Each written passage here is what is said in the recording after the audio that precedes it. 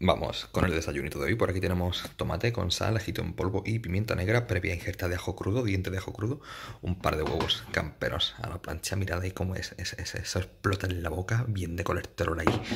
300 mililitros de leche desnatada y por aquí unas cachitas de avena que llevan 100 gramos de copos de avena, agua, stevia, 200 gramos de claras de huevo, frambuesas, 10 gramos de coco rallado y canela ceilan alfallísimo. Esto está cojonudo, empezando bien el día. Actuar Cuídame la casa. ¿Qué os ha parecido mi nuevo compañero de batallas con pinche y lacayo? Hoy es el peor día de la semana para grabar para YouTube, porque es el día que más carga de trabajo tengo. Además, ahora hemos cerrado plazas en el equipo y estoy hasta arriba de trabajo, pero hoy es eh, me faltan dos entrenamientos de esta preparación actual por mostrar y este es uno de ellos, así que digo, mira, eso yo nunca, así que vamos a grabarlo y el siguiente pues subiré el entrenamiento de pierna, que es el que falta por enseñaros. Hoy me toca trabajo de densidad de espalda, remos principalmente, para meterle bien de detalle a, esos bultos que salen ahí en la espalda y trabajo de bíceps, así que nada, vamos a darle cañita. Esta semana la preparación parece que no he terminado de encontrar el punto de subida, parece que me he quedado un poquito, incluso he bajado un poquito el peso, así que veremos si hay que hacer algún ajuste. Es la semana 12 de la preparación actual. Eh, la preparación actual como tal sería ampliable en una semana más en función de cómo nos veamos y lo que haríamos sería luego hacer un pequeño periodo de estabilización a nivel hormonal, de recuperación a nivel del sistema nervioso, eh, estructura, eh, en fin, una pequeña descarga parcial durante una semana y hacer una especie de mantenimiento, por así decirlo, de unas 4 o 6 semanas en función de cómo me vaya encontrando y ya retomaríamos con una nueva preparación para seguir adelante con el volumen. Así que me diremos qué tal, de momento me voy encontrando bien, vamos a entrenar y vamos al día.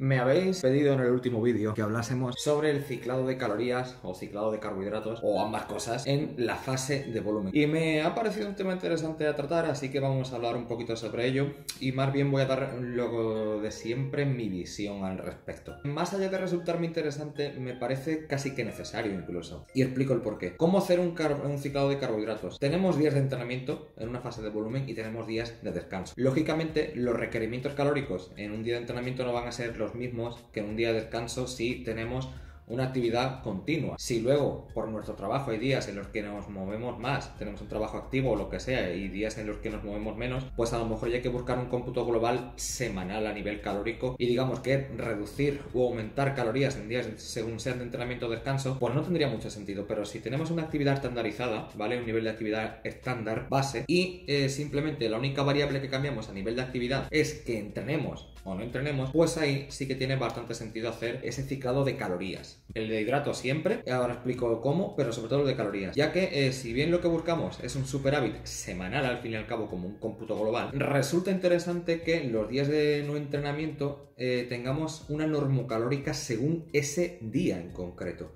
de acuerdo a unas calorías de mantenimiento. Porque en caso de superávit calórico en un día en el que no entrenamos, esas calorías no van a ir destinadas realmente a la reparación de tejidos. Que sí que es verdad que luego la energía es algo que fluctúa, que no se resetea cada 24 horas y que a lo mejor las calorías que consumamos hoy, aunque no entrenamos, servirán para reparar el daño producido en el entrenamiento de ayer o servirán para recargar glucógeno para tener mayor rendimiento en el entrenamiento de mañana. Puede ser, lógicamente. Pero imaginar que, por ejemplo, tenemos dos días seguidos de descanso. Ahí todavía tendría mucho más sentido. En cualquier caso, no va a afectar el que pongamos días de normocalórica si tenemos días de descanso, en los días de descanso, perdón, si luego en el resto de días de entrenamiento aseguramos un superávit calórico, porque al final el cómputo global semanal va a dar ese superávit calórico que va a permitir que podamos crear masa muscular. Y esto nos va a dar mucho más juego, ¿vale? Por una parte, si eh, aseguramos una normocalórica en los días de descanso, estamos asegurando en minimizar esa ganancia de grasa que siempre se va a dar en una fase de volumen, porque algo de grasa siempre se va a ganar por mucho que controlemos el superávit, eh, gestionemos la insulina, etc. Luego también hay factores genéticos que intervienen, pero principalmente el que tengamos un superávit controlado, por muy controlado que sea, siempre va a hacer que ganemos un poquito de grasa, pero de esta forma lo que hacemos es minimizar, porque esos días aseguramos que al estar en una normocalórica, que luego es imposible fijarla por diferentes factores, porque no es una ciencia exacta saber cuántas calorías gastamos al fin y al cabo, es siempre una estimación, pero sí que podemos hacer que eh, minimicemos o contribuyamos a minimizar esa ganancia de grasa al hacer esto en estos días. Y luego aseguramos un superávit calórico de un 10% aproximadamente, quizás sujetos iniciados incluso un 20 hasta un 25% podría contemplarse de superávit, ¿vale? Aunque sea un poco más salvaje. Pero un 10% es un superávit controlado, ¿de acuerdo? Entonces tendríamos que contar con los días de entrenamiento nuestra actividad de base, como si fuera un día de descanso, hacer una estimación de lo que gastamos en el entrenamiento con cargas, que no suele ser tanto como realmente pensamos, a no ser que ya seamos sujetos avanzados, intermedios avanzados con mucha cantidad de masa muscular y entrenemos súper intenso, que ahí sí el gasto calórico puede ser mucho más significativo. Tenemos que eh, jugar con sumar ese gasto calórico adicional que provoca el entrenamiento a nuestro gasto de base, ¿vale? Y en base a eso, pues establecemos ese 10% de superávit para los días de entrenamiento. Esto sería a nivel calórico. Y vamos rápidamente con la comidita de hoy. Piña de entrante, yogur natural desnatado, cremas edulcorado de postre, canela ceilan al fallísimo y por aquí salteado de verduras que llevan berenjena, calabacín, eh, cebolla, pimiento rojo y amarillo, 100 gramos de arroz vaporizado con sal y bien de hierbas provenzales y 150 gramos de pechuga de pavo con mi combo mágico estrella, sal marina, cebollita molida y pimentón pingat. Si no lo habéis probado, probadlo. 15 gramos de aceite de oliva virgen extra para todo y un poquito de ketchup light sin azúcar. Se trocea el pavo, se mezcla todo y está brutal. Deporte entreno lo de siempre, las tortas de arroz con el batido, el intraentreno lo de siempre, esas cosas, ¿no? Así que nada, a comer. Y ahora vamos a establecer, digamos, lo que sería eh, ese ciclado de carbohidratos según el día, ¿vale? Tenemos la normocalórica en días de descanso, ¿de acuerdo? Y tenemos ese superávit ligero controlado en días de entrenamiento. Los días de entrenamiento, como vamos a aumentar el uso de glucógeno muscular en el entrenamiento como fuente de combustible principal en esos entrenamientos, si la intensidad es suficiente, claro, pues tiene sentido que haya un mayor porcentaje de carbohidratos que por ejemplo en días de no entrenamiento porque lo que vamos a oxidar principalmente como fuente de combustible es la grasa, ¿vale? Que es lo que se gasta en nuestro día a día ya sea eh, cuando estamos sentados, cuando estamos durmiendo o rindiendo simplemente moviéndonos por la calle andando a un ritmo normal, ¿vale? El glucógeno, la vía glucolítica, es utilizada para actividades de alto impacto, de alta intensidad y corta duración, ¿de acuerdo?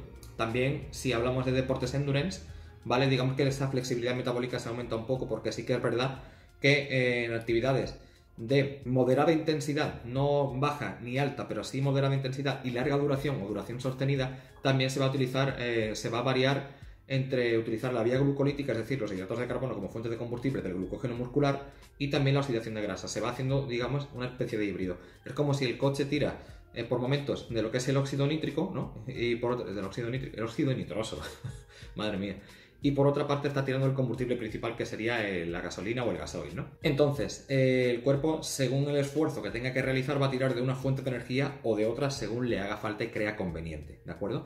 También está luego la vía de los fosfágenos, que es ya, digamos, eh, para vías, para actividades de muy corta duración y muy alta intensidad como un RM, un sprint muy corto pero muy intenso, y ahí es donde la vía principal energética a utilizar es el ATP, ¿de acuerdo? De la vía de la fosfocreatina, sea por la fosfocreatina, ¿de acuerdo? Por eso de la vía de los fosfágenos. Estos son los tres sistemas energéticos que tiene el cuerpo, la vía de, eh, de los fosfágenos, la vía glucolítica y la vía de la oxidación de la grasa, digamos, ¿vale? Entonces, eh, porcentajes más o menos a utilizar, pues en días de entrenamiento, digamos que un 25% del total eh, de calorías podría provenir de la proteína, ¿de acuerdo? Un 20% aproximadamente de la grasa. Eh, podríamos decir que también el resto de nutrientes que se podrían utilizar a través de los hidratos sería un 55% haciendo ya esa eh, sumativa, ¿no? Luego también tenéis un vídeo anterior que dejaré en la descripción hablando sobre el consumo total proteico. Hay que establecer, digamos, un consumo de un gramo de grasa más o menos por kilo de peso corporal o jugar con este porcentaje que he dicho en función del total de requerimiento calórico porque no va a ser lo mismo una persona que tenga una demanda de 2.000 calorías a otra que tenga 5.000 calorías de demanda energética para crearse superávit porque van a variar las cantidades totales, ¿no? Esto es siempre algo orientativo y al final hay que individualizar, pero digamos que podemos movernos en estos porcentajes. Sabiendo la cantidad de grasa que tenemos que utilizar y sabiendo la cantidad de proteína que tenemos que utilizar, pues el resto de carbohidratos, el resto lo deberíamos completar a través de los carbohidratos, que van a maximizar el rendimiento y también la recuperación y posterior síntesis proteica también. ¿Vale? Y modular eh, indicadores de inflamación, etc. Esto sería para los días de entrenamiento y para los días de descanso sí que podríamos jugar con lo que sería eh, la flexibilidad metabólica. Es decir, ya que estos días no necesitamos tanto glucógeno, ¿vale? Pues no tiene mucho sentido porque sí que es verdad, si utilizamos más o si consumimos más hidratos de la cuenta, podremos llegar a saturar incluso los depósitos de glucógeno y hacer que ese glucógeno extra, pues eh, que ya, o sea, ese hidrato que el cuerpo no puede sintetizar a modo de glucógeno muscular, se acabe mm, por saturar, ¿vale? ese depósito y al final ese exceso de carbohidrato que no tiene a dónde ir, pues por lipogénesis de nuevo se acabe acumulando como grasa, ¿vale? Por esa conversión que se produce en la lipogénesis de nuevo. Entonces, para, aunque en condiciones de normocalórica esto no, no, va a ocurrir, pero también podemos jugar un poco con contribuir aún a que pase menos todavía, ¿de acuerdo? Entonces lo que haríamos sería jugar con un 25% más o menos de la ingesta proteica total, el consumo de carbohidratos podría bajar a un 40% más o menos y podríamos jugar con la grasa en torno a un 35 incluso hasta un 55% del total de requerimiento calórico, ya que si bien es cierto que la grasa en caso de superávit calórico es el macronutriente que más eficientemente se almacena como grasa por pura esencia eh, y mayor facilidad para ello, eh, como no hay un superávit calórico, es un día de normocalórica, ¿vale? Unas calorías de mantenimiento, pues sí que vamos a aprovechar para darle a nuestro cuerpo esa señal de que, hey, tienes otras vías a nivel energético que utilizar y no solo el glucógeno. Así que aprovecha que, mira, además te estoy dando más grasa, es como que te doy más razones para que utilices la grasa y, no te, y te acuerdes de que también tienes que oxidarla en tu día a día, que no todo va a ser entrenar aquí en la vida, ¿vale? También hacemos otras cosas. Entonces, eso es lo que se llama la flexibilidad metabólica, ¿vale? Fomentar la flexibilidad metabólica quiere decir eh, darle a nuestro cuerpo la capacidad de cambiar de utilización de un sistema de vía energético u otro en función de la actividad que utilizamos. Porque si lo acostumbramos mucho a utilizar solo la vía glucolítica, luego a lo mejor cuando tengamos que utilizar la vía de oxidación de grasas, pues el cuerpo no se acuerda y entra un poco en conflicto, ¿no? Y al final es como que el coche acaba gripando porque ya no se acuerda si tiene que coger la energía de aquí, si la tiene que coger de allí, y al final acaba en conflicto y ya no sabe ni de dónde cojones coger esa energía, ¿vale? Entonces de esta forma digamos que fomentamos esa flexibilidad metabólica, darle al cuerpo la capacidad de utilizar la energía de una fuente de combustible o de otra, ¿de acuerdo? En función de sus propias necesidades y demandas. Entonces, eh, podemos jugar con esta injerta, como digo, de un 35-55%, ¿de acuerdo? Porque mm, como no hay superávit calórico, no hay riesgo de que ese mm, eh, consumo total de grasa, aunque sea pueda parecer un consumo alto, ¿vale? Se vaya a acumular como grasa porque no ocurre así. Y dado que ese día no utilizamos el glucógeno como fuente eh, de combustible principal, sí que bien es cierto que nos hace falta en una fase de volumen tenerlo por tener un glucógeno suficiente para rendimiento en sesiones posteriores y días posteriores en el entrenamiento, si bien es cierto que necesitamos ese consumo de hidrato mínimo, ¿vale? Digamos por así decirlo, eh, podemos utilizar este consumo de grasas para eh, mm, completar ese total calórico y de esa forma aumentar esa flexibilidad metabólica, como digo, entre un 35 y un 55% del total del requerimiento calórico es una buena opción. Así que esto sería todo así a modo de resumen y para que comprendáis un poquito cómo funciona el cuerpo a nivel de utilización de sistemas de vías energéticas en función de lo que necesite. Y cómo jugar un poquito con esto, pero ya os digo, al final hay que individualizar según la persona lo que son los porcentajes y cantidades de cada macronutriente en función de la actividad de cada persona y el contexto de cada persona al fin y al cabo. Y aquí ya que sí que vamos con la cenita de hoy. Por aquí tenemos 140 gramos de pan de centeno integral, un yogur proteico, por cierto, en cuanto a la suplementación, aquí un gramo de omega 3 meto, que no es invisible, lo veis, pero siempre me lo tomo. O sea, no lo veis, pero siempre me lo tomo. Y en el desayuno vitamina D3, que no la he enseñado hoy, ¿vale? Eh, tenemos por aquí un calabacín, con eso que veis ahí fundidito. ¡Buah! Brutal, mirad qué pinta. 50 gramos de queso proteico. 55, eh, perdón. ¿Qué más hay ahí fundidito bien? Todo con sal. Eh, salsa de soja sin azúcar que estoy utilizando ahorita de Mercadona en concreto. Los que sois de España. Y eh, bueno, pues si queréis ver los ingredientes y tal. Bueno, estos serían los macros, digamos. Que apenas tienen nada. A no ser que seáis hipertensos, no hay ningún problema, ¿vale? Por el tema de la sal. Em, un par de huevos camperos ahí a la plancha, como bien veis, y 5 gramos de aceite de oliva virgen extra. Así que vamos a comer bien, sí señor. Bueno, pues espero que os haya servido toda la información que hemos dado en este vídeo. Como digo, es un tema que me habéis eh, pedido y me consideraba interesante hablar sobre ello, ya que no suelo ver que se hable mucho, sí, sobre el ciclado de calorías, en cuanto a hablar sobre los refits y demás en fases de definición, pero sí que en fase de volumen no estoy muy acostumbrado a verlo en redes sociales, en YouTube ni nada, así que digo, pues mira, igual es una buena oportunidad y así le aportamos algo a alguien, ¿vale? De esta forma, como digo, podemos minimizar esas ganancias de grasa, aumentar esa flexibilidad metabólica y mejorar nuestro entorno a nivel hormonal en nuestro cuerpo, ya que además el consumo de grasa alto va a hacer que mejoremos ese entorno hormonal precisamente, que además es tan importante de cara a la ganancia de masa muscular, entre estos aspectos, eh, como incluso a nivel anímico, ¿de acuerdo? Así que nada más, espero que os haya servido como siempre la información. Si te ha gustado el vídeo y te ha servido, pues dale like, que me ayuda bastante. Suscríbete si aún no lo estás, que se trata de que crezcamos un poco, yo me siga motivando de esta forma viendo que os gusta el contenido y que merece la pena seguir. Y poquito más, y comenta sobre temas que te gustaría que tratase en futuros vídeos y demás, si no, pues ya los iré sacando yo, pero hasta el momento me estáis mm, sacando temas a tratar bastante interesantes y creo que además os está sirviendo por el feedback que voy teniendo y los comentarios que voy viendo y voy leyendo. Así que nada, me encanta interactuar con vosotros de esta forma y sobre todo de que sea un contenido que os esté siendo útil, ¿vale? Y nada más, si te ha gustado el vídeo dale like, comenta, suscríbete, lo dicho y muchísimas gracias por estar ahí como siempre. A tope, hostia.